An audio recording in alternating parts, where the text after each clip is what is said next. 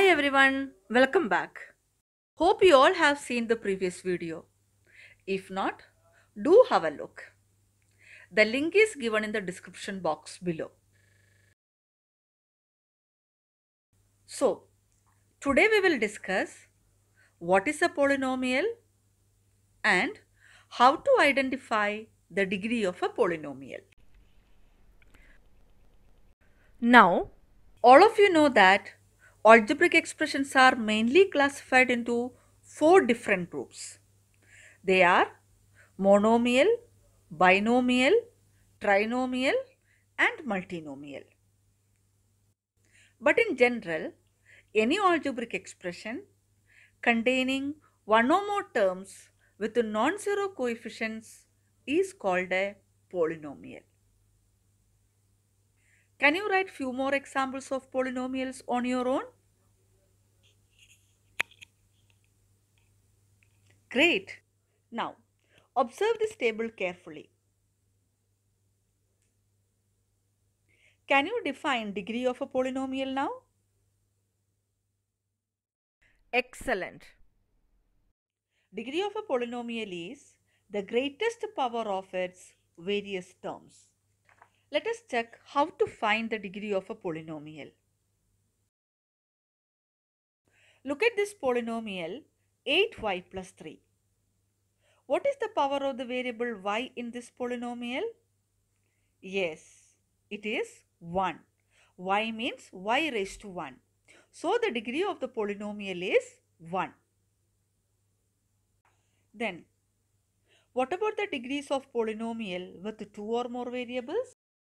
To find this, the sum of the powers of the variables in each term is taken and the highest sum is considered as the degree of the polynomial.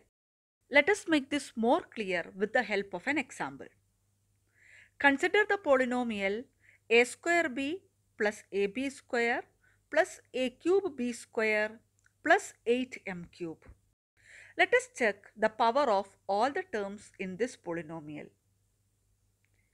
In the first term a square b, power of a is 2 and that of b is 1.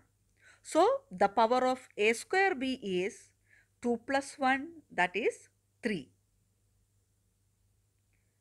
In ab square, the power of a is 1 and that of b is 2.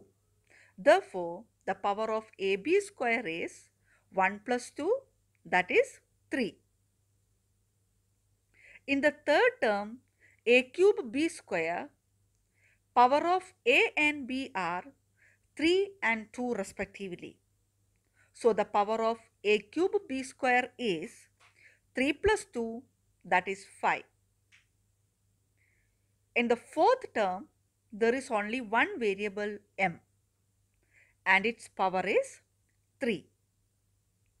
So, in this the highest power is the power of the third term. Hence, the degree of this polynomial is 5.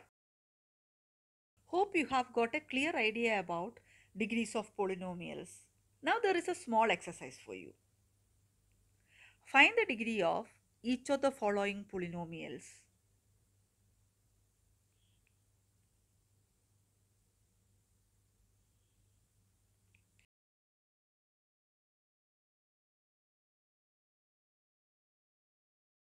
Well, that's all for today. If you have any doubt, kindly mention in the comment section below. Stay safe and take care. Thank you.